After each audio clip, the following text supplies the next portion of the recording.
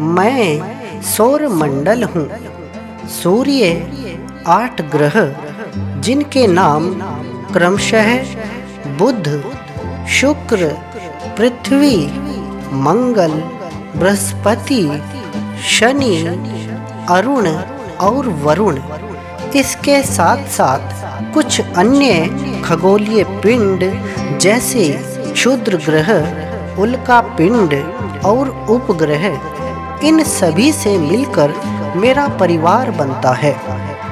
मैं अपने परिवार को सौर परिवार भी कहता हूँ, क्योंकि सूर्य मेरे परिवार का मुखिया है।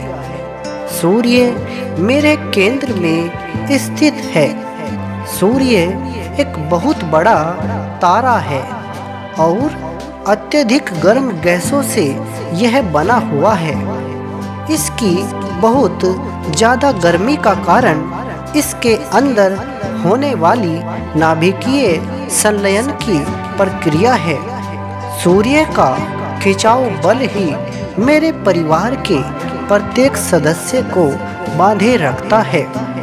मेरे परिवार में सूर्य ही ऊर्जा का एकमात्र स्रोत है।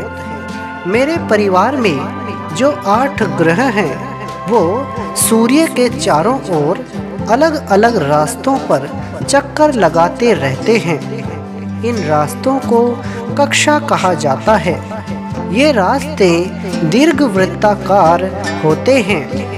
अलग अलग रास्तों पर चलने के कारण ये ग्रह आपस में टकराते नहीं हैं। सूर्य के सबसे नज़दीक बुध और सबसे दूर वरुण ग्रह है। सूर्य का एक चक्कर पूरा करने में बुध ग्रह को सबसे कम समय लगता है। यही अगर हम बात करें वरुण ग्रह की तो वरुण ग्रह को सूर्य का एक चक्कर पूरा करने में अन्य ग्रहों की तुलना में सबसे ज़्यादा समय एक वर्ष लगते हैं।